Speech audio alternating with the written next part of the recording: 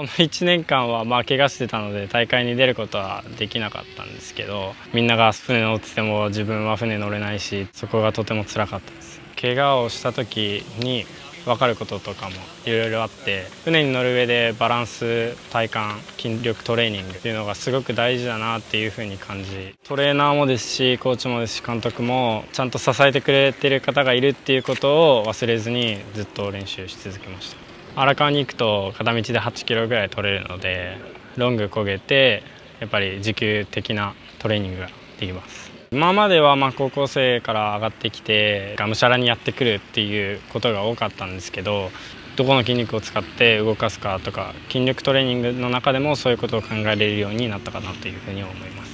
この1年間で体幹もついて、ま、ボートを漕ぐ上で必要な能力がついていったかなというふうに思っています。やっと試合に出れるので来年の後半ではしっかり結果が出てくるように探偵部として、えっと、全日本大学選手権でメダルを取ることが目標です。冬もっとトレーニングを積み上げていけば可能であると思っています。1年生と2年生で怪我をした分34年生でしっかり自分の思うようなレースをしてしっかりそれを結果として出せるように頑張っていきたいと思っています。